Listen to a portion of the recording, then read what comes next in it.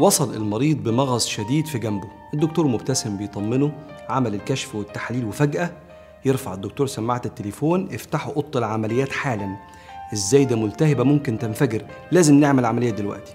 واحدة واحدة يا دكتور. مفيش واحدة واحدة. دي حالة حرجة تتطلب إجراءات استثنائية. هذا المثال ممتلئة به الحياة بالمواقف الحرجة اللي بتطلب إجراءات مختلفة استثنائية والتعامل معها بتراخي قد يؤدي إلى دمار كبير. يعني مثلا خناقة كبيرة مع حد مقرب صديق أو شريك للحياة حصل فيها تجاوز وإهانات. حطت العلاقة على حافة الهاوية. إحنا دلوقتي في حالة حرجة في علاقتنا. إنك تجر كلام بعد كده بطريقة لطيفة أو تعتذر اعتذار بارد ده ممكن يزود المشكلة. لازم الاعتذار يليق بالإهانة. حتى زمان المثل كان يقول لك تشتمني في شارع وتصالحني في حارة انت هزقتني قدام الناس. محتاج تعتذر لي بطريقة مختلفة برضه قدام الناس. حتى على مستوى العلاقة مع الله اللي بيرتكب كبيرة من أكبر الكبائر بيخلي حالته حرجة في السير إلى الله. أيوة ربنا رحمته واسعة بس أنت لازم تقف مع نفسك.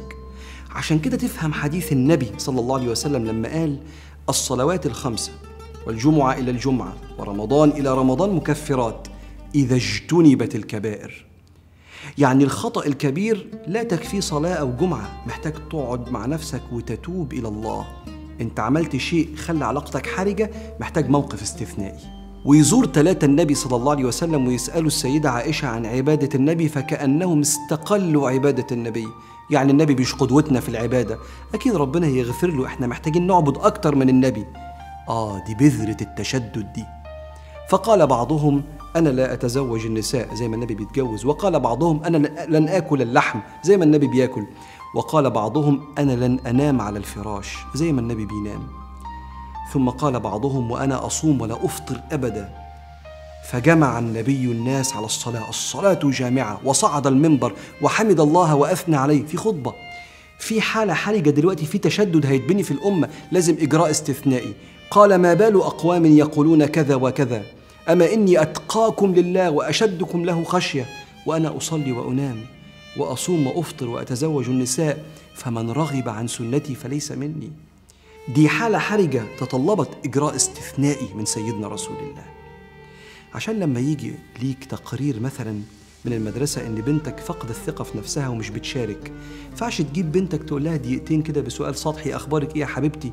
أنت هتتفاجأ إن المشكلة تتضخم بسبب عدم الجدية وأخذ موقف استثنائي في الحالة الحرجة اللي زي دي. وسبحان الله تصرف استثنائي محترم.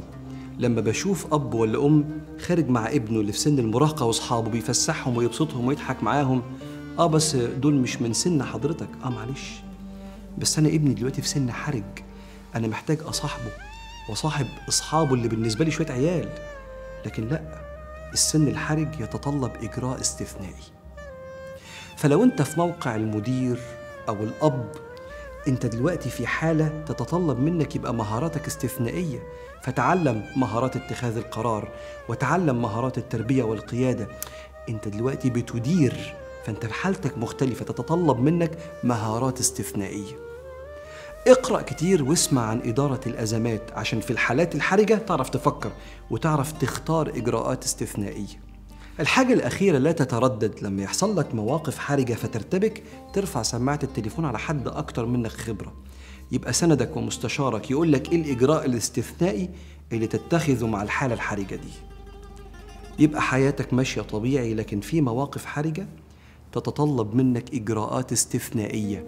والمعاملة مع المواقف الحرجة بتراخي ممكن يؤدي إلى دمار أكبر. فاللهم يا رب ارزقنا فقه الحياة وفهمنا مرادك من تقلباتها وأعنا يا رب أن نكون على مرادك أينما كنا.